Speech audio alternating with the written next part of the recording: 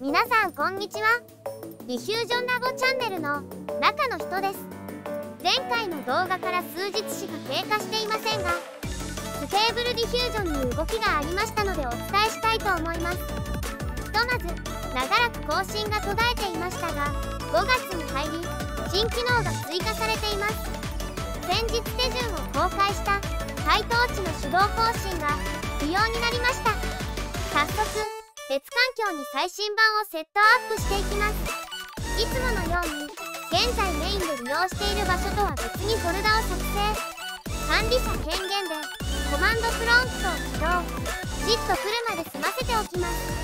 じっとじっとこれ読み方どっちですか？モデルやローラなどを保管するフォルダをリネームしてシンボリックリンクを作ります。あとはこちらも前回同様起動バッチファイルにパラメータを追加し実行。これで最新版への更新が完了します。更新内容は様々あるのですが中でも便利そうなものを一つ紹介します。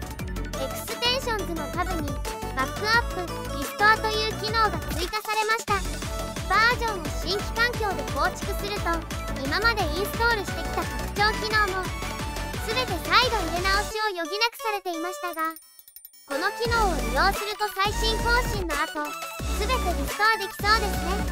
リストア手順として Extensions のみか UI のみかその両方かを選択できる模様です。ひとまず日付を書き込み Save Current Config ボタンを押してバックアップしておきましょう。さて次の話題は注目のローラに関してです。